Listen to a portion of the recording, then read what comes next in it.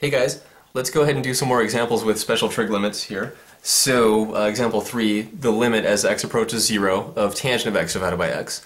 So if we try direct substitution, uh, always the first thing we should do, we're going to get tangent of 0 divided by 0. And remember, the tangent of 0 equals 0. So what we have from direct substitution is 0 divided by 0. And uh, that's bad, right? Sad face. But um, here, if we try to factor, there's nothing good that we can factor. If we try algebraic manipulations, nothing really will work. Um, but, the, you know, trig function here, so that might kind of tip us off, okay, let's try special trig uh, limits. So if we go to our two special trig limits here, we see that this given problem kind of looks like this special trig limit here, right? So the only difference is instead of a sine, we have a tangent. Um, but that's okay, we'll work with that somehow. So let's see if we can manipulate this uh, to somehow use this fact here. So the trick uh, is to remember that uh, tangent of x equals sine of x over cosine of x. All right. so what we have is tangent of x over x though. So we'll take this and divide it by x. So that's just like taking this whole thing here and dividing it by x.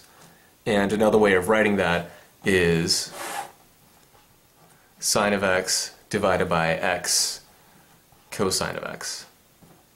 Okay, so now uh, we see here, here's sine of x and here's x, right? So um, we can rewrite this as sine of x over x times 1 over cosine of x. Okay, so ignoring this limit part for now, tangent of x divided by x can be rewritten as sine of x over x times 1 over cosine of x. So that's really uh, good now, because now we can take this limit and say, okay, this limit equals uh, the limit as x approaches 0. So now that we're coming back to the limit here, make sure to carry this uh, limit as x approaches 0 down in your work until you actually substitute. so we know that tan x over x equals this, so let's take this and put it into here. So this is sine of x over x times 1 over cosine of x. Parentheses. Parentheses aren't really necessary because it's a multiplication, but it's good to have anyway. So um, here, what are we doing here? We're taking the limit of one thing times another thing. So one of our properties says that we can split this up into the product of two limits. Uh, but remember, it's only okay to do this if both of these limits exist that we're about to write here. So if uh, one of these doesn't exist, or if they both don't exist, then we have to be a little more careful and we have to do something else. But luckily, uh, we're okay. So this here, this first one, this is our special trig limit, right? Limit as x approaches 0 of sine of x over x. Okay, that is our special trig limit. So this uh, equals 1. And what about this one here? Well, we can just do direct substitution. So if we directly substitute, what do we have? We have 1 divided by cosine of 0, and the cosine of 0 is just 1. Okay, so this is 1 divided by 1, which is 1. So our final answer is 1 times 1, or in other words, just 1. So example 3 tells us that uh, the limit as x approaches 0 of tangent of x divided by x is also equal to 1. So that's kind of interesting there. Alright, so that's example 3. Let's take a look at one more here. Or two more, rather. Alright, so example 4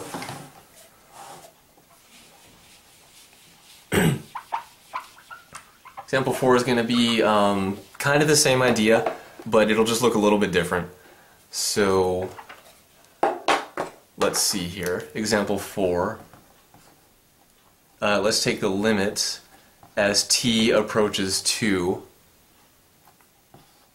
of sine of t minus 2 divided by t minus 2.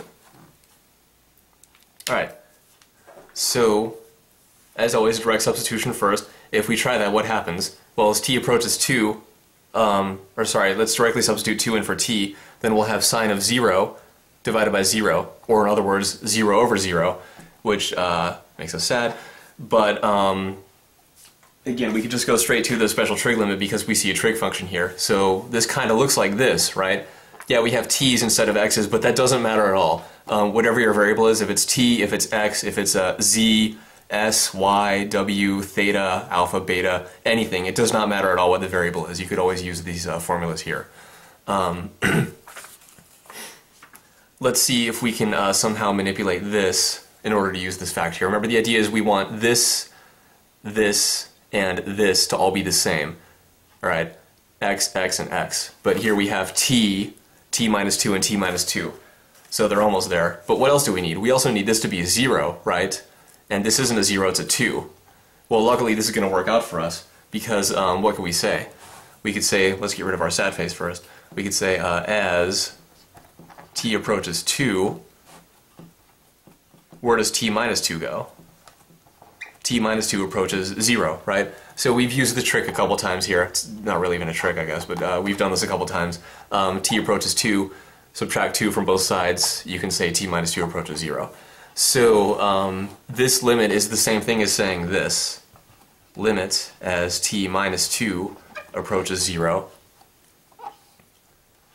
of sine of t minus 2 divided by t minus 2. so that's good. Why is that good now? Because here t minus 2, t minus 2, and t minus 2. Those are all three, they're all the same thing, and we have a 0 here. So this is all uh, good, this is what we want. So the next step, um, which isn't really necessary, uh, but the next step would be to make a substitution. So we could say, um, let's say x equals t minus 2. Okay. So this is just to make this expression a little simpler.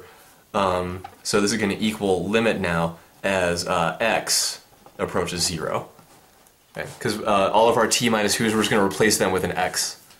So then sine of t minus 2 becomes sine of x, and then this t minus 2 just becomes x. So this, um, this exactly is the special trig limit that we're looking at here, right? So we know that this just equals 1. Alright, so this is uh, actually a little bit simpler than the other examples because we didn't have to multiply or divide by anything here. We just had to recognize that, okay, um, we want this thing, this thing, and this thing to all be the same thing, and we also want this to be a zero. So if you can uh, manipulate that, you know, if you have a sine on top and no trig on the bottom, then you can manipulate, uh, and if you can manipulate this stuff so that you can use the special trig limit, then, you know, go ahead and do that. That's the thing to do. Alright, so let's take a look at uh, one more example here,